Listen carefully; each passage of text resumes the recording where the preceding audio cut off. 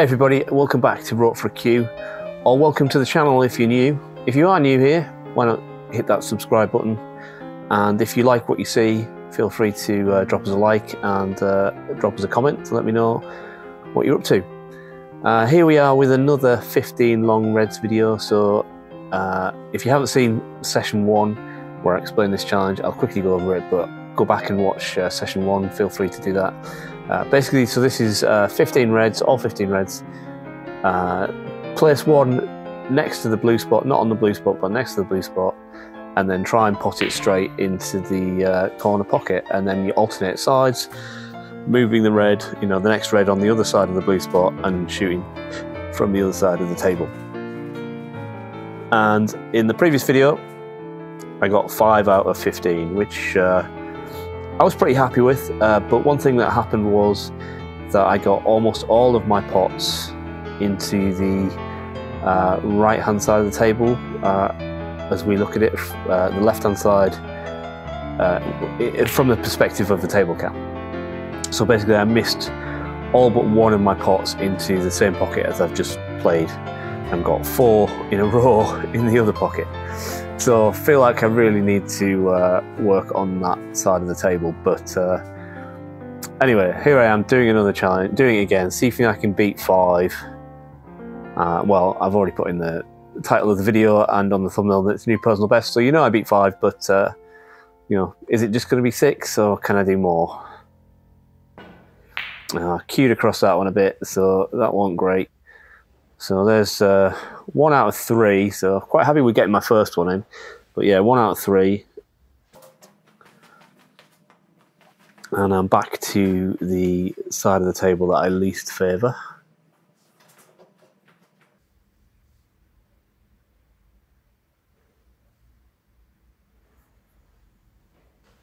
So can I get this in?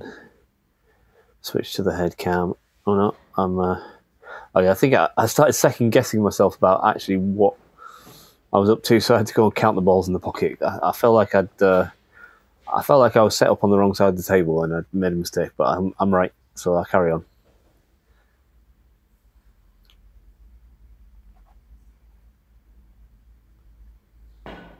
Yeah, that was much better. Need to stay down on the shot a bit more to uh, show the ball going in the pocket, but uh, it did go in nicely. So I'm two for four and one in each side of the table. So that's a bit more uh, like it. So hopefully not getting a favourite side of the table.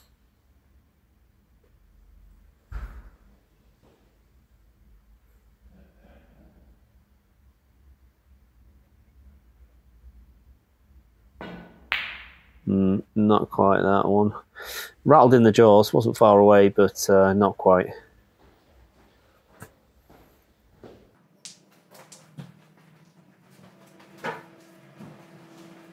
Get a lot of walking done in this challenge, walking around the table, setting the balls up.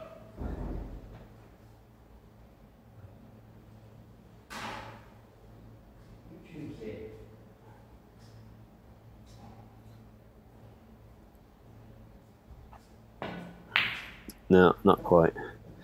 Uh, also, somebody's come in the club. Uh, I don't like wearing my head cam when people are in the club, so this is slightly embarrassing, but in the middle of a video,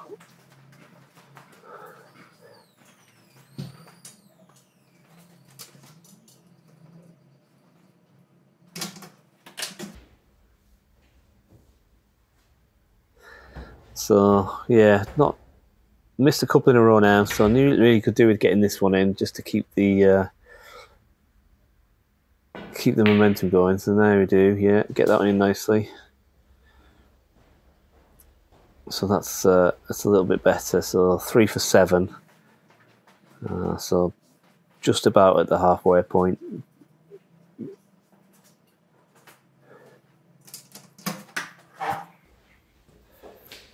professional. Hmm. Very frustrating. Yeah. Just explaining the challenge I'm doing to uh, Chris, who's just come into the club.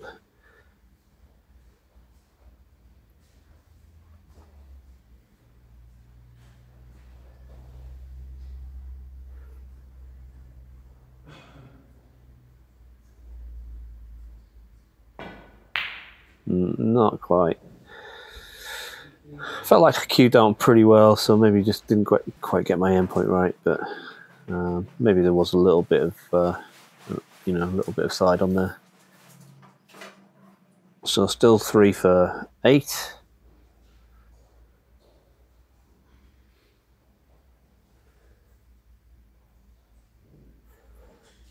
Can I get this one in? Yes, I can. Nicely in the pocket. Straight as a die, that one.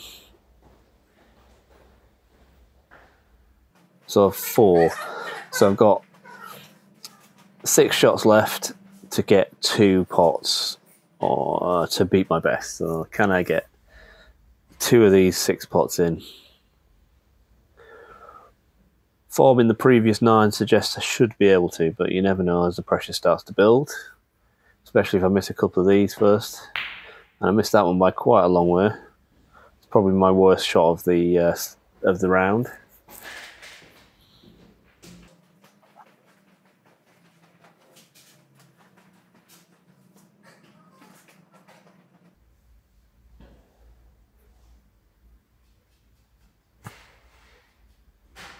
Taking my time, getting my grip right. No, I'm starting to learn where I need to put my hand on the cue. I don't want to put any marks on my cue for where I need to put my hand, so I'm trying to use the actual um, the inlay in the cue to work out where my hand needs to be. I uh, missed that one by quite a way as well, but uh, look at that. Chris has brought me a coffee. That's uh, nice of him, isn't it?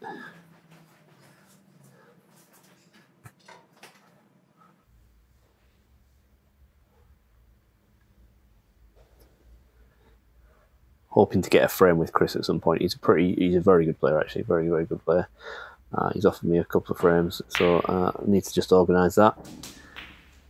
Uh, there we go. Another two in a row. Oh, uh, no, it's not two in a row. Sorry, that's uh, that's my uh, previous best best match. So that means I've got three shots to get one of these in to beat my best.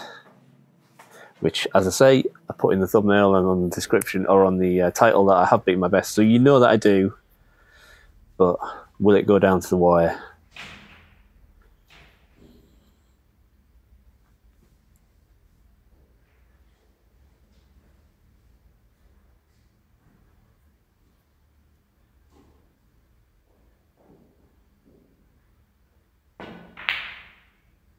Oh, not far off.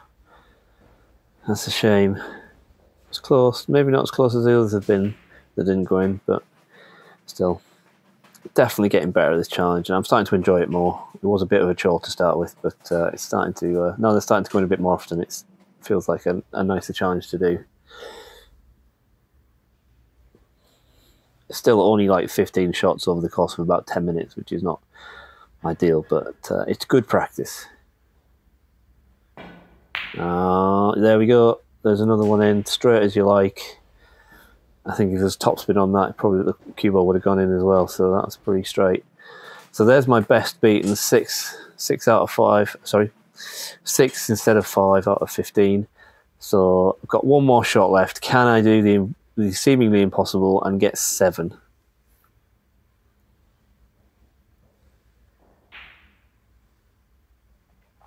Here we go.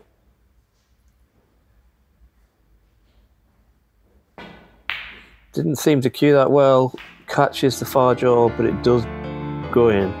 So there we go, a new PB, a bit of a fist bump, a fist bump, a fist pump, as it were, not a fist bump.